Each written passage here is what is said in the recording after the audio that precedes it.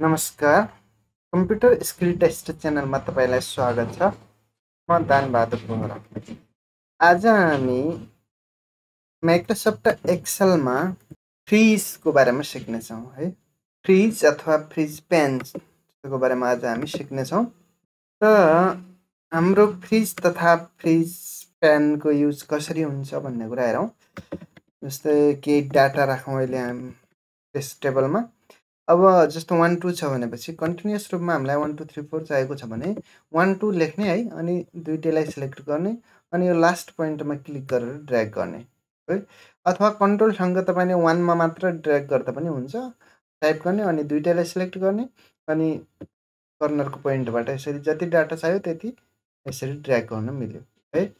One two थ्रीमा okay product अहिले हाम केही सिमिलर डाटाहरू राखिदिन्छु है म चाहिँ धेरै इन्ट्री गर्नका लागि टाइम वेस्ट हुन्छ होइन। र मैले सेम डाटाहरू रिपिट राखेँ यहाँ। टेक्स्टमा चाहिँ हामीले यसरी ड्र्याग गऱ्यो भनेपछि सेम प्रकारको टेक्स्ट अर्को हाम्रो नेक्स्ट सेलमा पनि आउने भयो है। नम्बर पनि एउटा मात्र नम्बर छ र तपाईँले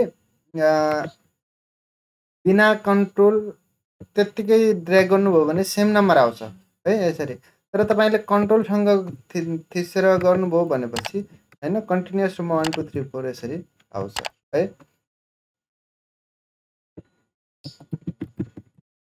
ल यो हामीसँग डाटा छ फर इक्जाम्पल है।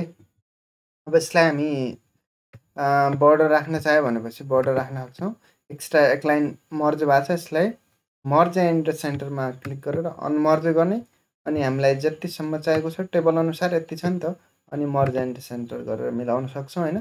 टाइटल हेडिङलाई अनि यो सिलेक्ट गर्ने जति चाहिएको छ अनि अल बर्डर गरेर बर्डर राख्न सक्नुहुन्छ। तपाईँको प्रिन्ट हुने बर्डर चाहिँ यही हो भनेर मैले भनिरहेको थिएँ होइन? अनि हेडिङहरूलाई सिलेक्ट गर्नुहोस् कन्ट्रोल बी फाइभ नम्बरमा क्लिक गऱ्यो भने यो लाइन पुरै सिलेक्ट पनि हुन्छ होइन? ओके यो डाटा छ हामीसँग होइन? अब फ्रिजको युज कसरी गर्ने भन्ने कुरा भयो है? फ्रिजको प्रयोग चाहिँ हाम्रो जस्तो डाटाहरू धेरै मात्रामा छन् होइन? त त्यति बेला हामीले डाटा इन्ट्री गर्दा अथवा हेर्दाखेरि धेरै हेडिङहरू पनि हुन्छन्। अहिले त मैले दुई तिनवटा तिन चारवटा हेडिङ मात्रै दिएको छु होइन?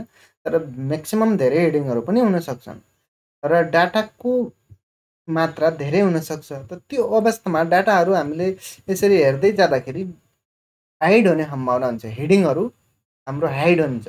जस्तो यहाँबाट जाँदाखेरि ऊ हेर्नुहोस् त हेडिङ माथि हाइड भइहाल्यो होइन? माथि जाँदै गर्दा यो हेडिङ गायब भयो।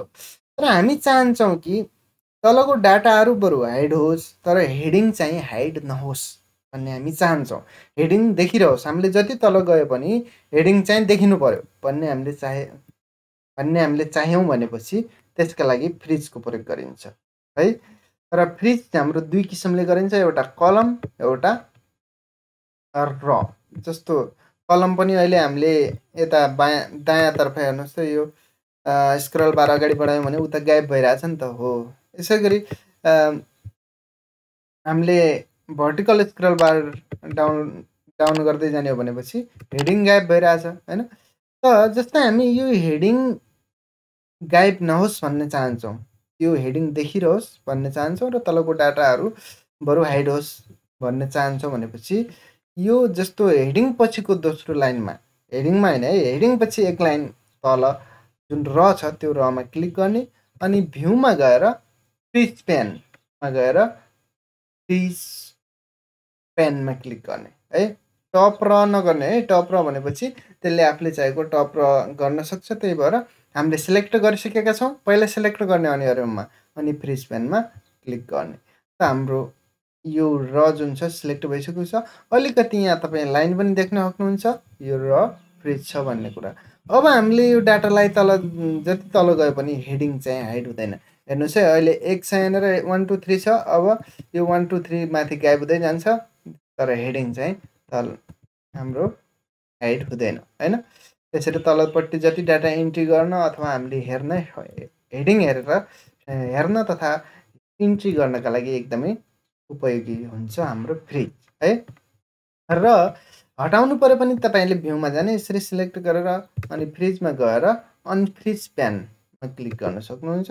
यति गऱ्यो भने तपाईँको फ्रिज हट्यो।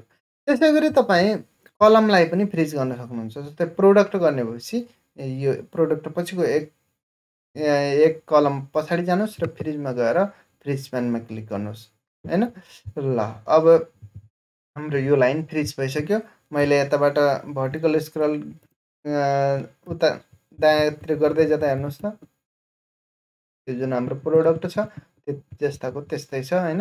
अरूहरू चाहिँ हाम्रो धेरै मास मात्रामा डाटा छन् भने हाम्रो हेर्न सकिन्छ। भन्नाले कहिलेकाहीँ हाम्रो ल्यान्डस्केपमा पेज हुँदाखेरि हाम्रो हेडिङहरू बायाँतर्फ पनि हुनसक्छ। त त्यो अवस्थामा हामीले कलमलाई पनि फ्रिज गर्नुपर्ने हुनसक्छ भन्ने कुरा हो है? ओके त आजको भिडियो हाम्रो फ्रिज सम्बन्धी थियो। अब लोकसेवाको इक्जाममा तथा दैनिक जीवनमा फ्रिजको एकदमै निकै उपयोगी छ। तपाईँले जानिराखे राम्रो छ। र प्र्याक्टिस गर्दै गर्नु होला तपाईँहरू पनि। भिडियो हेरेर मात्र भएन। तपाईँको दिन। शुभ रहोस् धन्यवाद। नमस्कार।